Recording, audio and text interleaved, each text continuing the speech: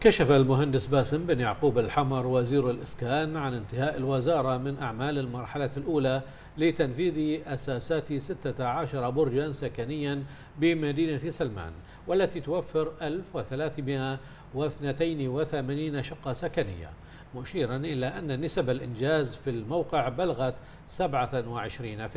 نعم قال الوزير أن الأبراج السكنية يتم تشييدها وفق تصاميم الجيل السادس للعمارات السكنية وأن المشروع يتضمن كافة الخدمات التجارية ومواقف السيارات والمساحات الخضراء ومن المؤمل الانتهاء من تنفيذها بحلول عام 2023 أكد الحمر أن الجهد الهندسي يعكس مستوى التخطيط المسبق والكفاءة في إدارة المشاريع الإسكانية بمملكة البحرين والقدرة والوفرة الإنتاجية للمصانع المحلية فضلا عن الخبرات المتراكمة لدى مهندسي الوزارة. موضحا أن المشروع أنجز دون حوادث أو إصابات حيث تولي الوزارة اهتماما كبيرا لمتطلبات الصحة والسلامة في تنفيذ مشاريع البنية التحتية والتأكد من الالتزام بمتطلبات السلامة مع سرعة الإنجاز. تطرق الوزير إلى مراعاة الوزارة في مشاريعها لضرورة الاعتماد على توفير معايير الاستدامة كالطاقة الخضراء ومواد البناء صديقة للبيئة وتوفير بيئة آمنة وعصرية تتناسب مع احتياجات المستفيدين لتحقيق أعلى مستويات الجودة.